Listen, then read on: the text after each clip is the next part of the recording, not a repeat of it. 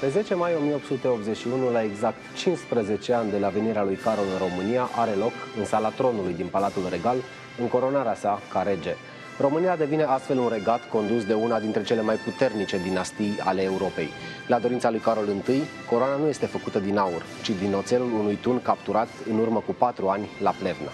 Regatul e un moment de care încununa, să spunem, uh, prima etapă a domniei lui Carol I, un fel de recunoaștere a noului rol, loc pe care România îl ocupa în această parte de Europa. 1881 este punctul de desăvârșire al Uh, structurii politice uh, românești. Pentru România începe o perioadă de stabilitate politică și de prosperitate economică. Țara este construită aproape de la zero. Când ajunsese pe aceste meleaguri în 1866, Carol a descoperit o țară aflată la marginea civilizației. Printre primele însemnări pe care le-a făcut în jurnal se numără și o descriere sumară, dar elocventă, a specificului local. Sate sărace, orașe mici, amărâte, drumuri desfundate și praf, mult praf. În România nu existau căi ferate, nu existau porturi, trans transportul se făcea călare sau cu trăsura.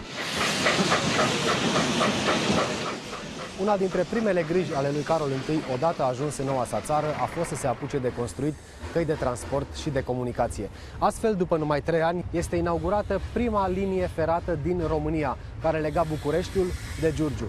De aici, din gara Filaret, a plecat primul tren pe 19 octombrie 1869.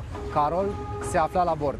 După numai 16 ani, România ajunge să bată recorduri în domeniu. În 1895 este inaugurat podul de peste Dunăre de la Cernavodă, construit de inginerul Angel Salini. Era cel mai lung pod din Europa. S-a dezvoltat economic țara, s-a creat un sistem bancar uh, românesc, a început uh, exploatarea minieră, mai ales când a venit vremea petrolului. Încet, încet, Bucureștiul se transformă în micul Paris al Estului. Se construiesc unele dintre cele mai frumoase clădiri din capitală, bineînțeles de inspirație franceză, Ateneul Român, Palatul Cec, Palatul Poștelor, azi Muzeul de Istorie sau Palatul de Justiție. În 1871, pe străzile capitalei încep să circule primele tramvaie trase de cai, iar în 1882 se introduce iluminatul public electric. Este perioada în care cultura cunoaște un avânt fără precedent. Este epoca lui Eminescu, Creangă și Caragiale. Într-un secol în care libertatea de exprimare era mai mult o excepție decât o regulă, în România presa avea libertate absolută. Până acum am avut obiceiul de a ne duce să căutăm exemple și lecții de bună politică în Anglia sau America. Astăzi, iată, un mic popor născut ieri vine să ne arate cum se guvernează. În momentul când își mobilizează armata, România proclamă ce? Starea de asediu? Nu, ea proclamă libertatea absolută a presei, scriau în 1876 ziarele din Franța. Carol I s-a văzut pe sine ca pe un arbitru al vieții politice. A adus în primul rând o înțelegere a separației și echilibrului puterilor în stat, un guvernământ moderat și o libertate a actului politic și a dezbaterii publice.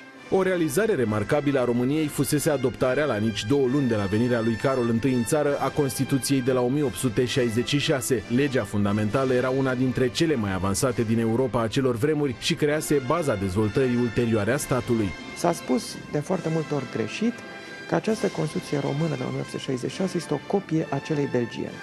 Nu este vorba de o copiere, ci de o prelucrare și de o adaptare la necesitățile societății românești, una dintre cele mai ilustre modele constituționale disponibile pe piața ideilor la acel moment. După mai bine de 30 de ani de pace și dezvoltare economică fără precedent, România intră în 1916 în primul război mondial. Carol I murise în 1914, iar Ferdinand își calcă pe inimă și declară război împotriva Germaniei natale. Era războiul întregirii țării. Decidem să intrăm în război după niște negocieri foarte dure, foarte, foarte serioase. România dorea mult în acel moment și dorea dintr-o dată să obțină tot dacă se putea. În fața mașinăriei de război infernale a germanilor, România pierde teren. Țara este ocupată aproape în întregime, iar guvernul este nevoit să se refugieze la Iași. Sorții sunt însă în favoarea românilor. În jur, imperiile se prăbușesc precum niște castele din cărți de joc. Cade Imperiul Țarist, apoi cel austro-ungar, dar și Imperiul Otoman.